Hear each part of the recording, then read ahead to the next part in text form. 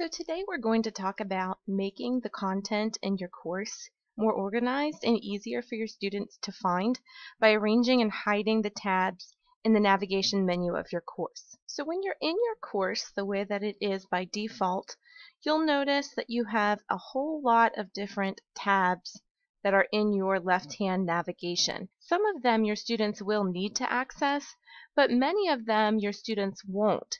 So best practice is to hide the tabs that your students don't have to access for the course.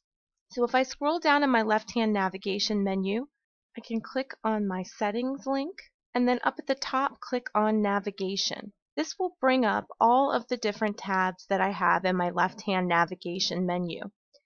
And in order to hide these, all I have to do is either drag the items down here below this line, or I can also click on the kebab to the right and just say disable, and it'll move it down below the line for me.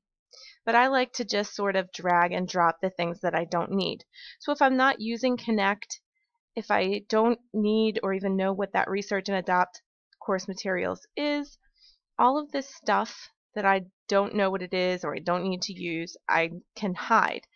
Additionally, I want to hide items that I do need but that my students don't need to access. So I don't want my students just clicking on my files and seeing all my files for my course.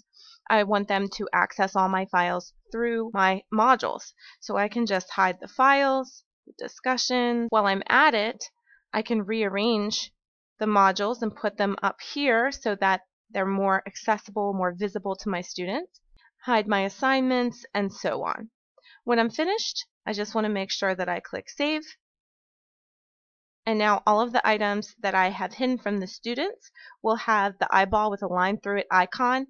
I can still access them, but my students will not have them cluttering up their left-hand navigation menu.